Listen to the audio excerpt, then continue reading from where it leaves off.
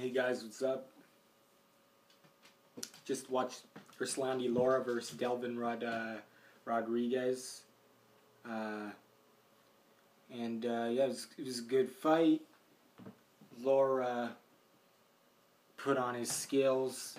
I liked Lara's style here more. He, still, he was cautious. Still, he wasn't running cautious though. He wasn't running around. But then you could say Delvin just didn't have the power or the ability to make Lara run as much as Canelo did. He's not as strong as Canelo, but uh, yeah, so that could be that reason. Uh, obviously, I think that is a big reason why Lara stood more in front of Delvin because he just skill difference was so much different, and Delvin didn't have the strength or the power to to make Lara back up and run. Like I said, that's why Lara lost that fight against Canelo. He ran and he didn't throw enough. He didn't make, he he made Canelo miss and not hit cleanly. So his defense was good, but his offense wasn't good, and that's why Lara lost against Canelo, in my opinion.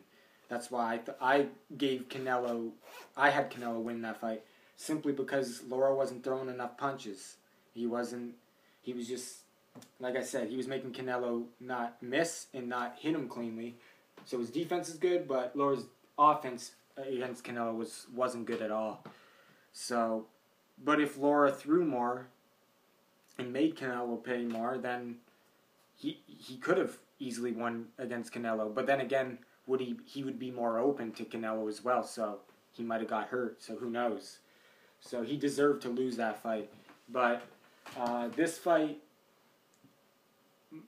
I give Lara's performance. It was an A performance, maybe an A minus, A minus performance, because his accuracy was so good. He landed over, he landed like pretty much landing at will most of the time.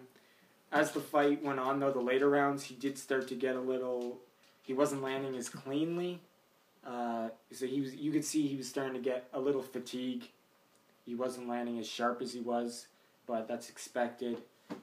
But still, it's not that he didn't have greater accuracy in the final championship rounds. It's just you could see he was fatiguing a bit, but like I said, when you compare to what he was doing in the middle and early rounds, his accuracy was just he was like landing everything. So, but uh, anyway, he was like I said, good performance. The only thing that wasn't good is he when he had Delvin hurt, he wouldn't go. He didn't go to for the finish at all. Just very smart, and nothing's wrong with that as long as he's not running and hugging like he was in the, the Canelo fight, I don't got a problem with him not trying to go for the knockout because he put on an exciting show, even though he didn't go for the knockout. And even though he was cautious, he was smart. It was still good to watch instead of like he wasn't running. So, but uh, yeah,